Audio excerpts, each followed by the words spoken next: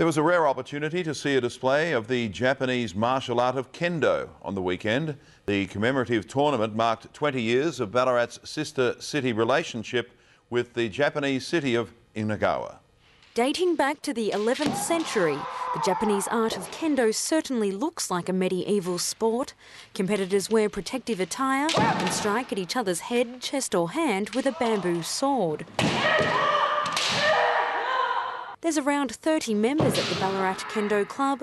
Over in Japan, At any one time, there's said to be 4 million people training in Japan, so it's, uh, it's, it's a big league over there.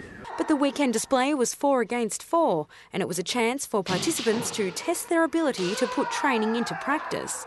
A lot of patience, timing, and speed and you've got to be able to commit yourself even though you know you may get beaten or be injured.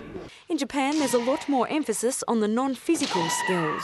It's more about posture and, also about um, reigi, which is like a respect. At the end, there is a winner, and there's some things that don't need translation. Who is going to win Who the question. Murray Dundas, Win News.